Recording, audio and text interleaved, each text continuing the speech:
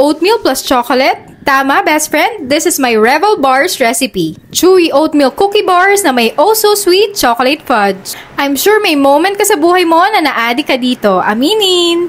At ang maganda sa recipe na to, mas matagal siya sa fridge, mas sumasarap. Kaya gawa ka na. Let's start by making our oatmeal bars. Kailangan natin ng isang buong butter, i-cream natin with brown sugar. Gumamit ako ng stand mixer dito para mas madali ang buhay, pero kaya din naman tong i-manual. Then, maglagay tayo ng dalawang itlog, vanilla extract, mix uli, For our dry ingredients, we need oatmeal, all-purpose flour, baking soda, and salt. Mix until everything is combined, then we add it to our butter mixture. Low speed lang, just until no more visible flour. Once it's done, we spread 3-4 of the mixture on our baking pan. I'm using a 9 by 13 so medyo madami tayong magagawa sa recipe na to. Set aside muna kasi it's time to make our chocolate fudge. Condensed milk, butter, and chocolate chips. Here, I'm using dark chocolate chips para hindi masyadong makadagdag sa tamis ng condensed milk. I-melt lang natin to in low heat, then spread sa taas ng ating oatmeal bar. Now for the remaining oatmeal dough, flatten natin in chunks and top it on our chocolate fudge fudge. We will bake this for 25 to 30 minutes in a 350 Fahrenheit preheated oven.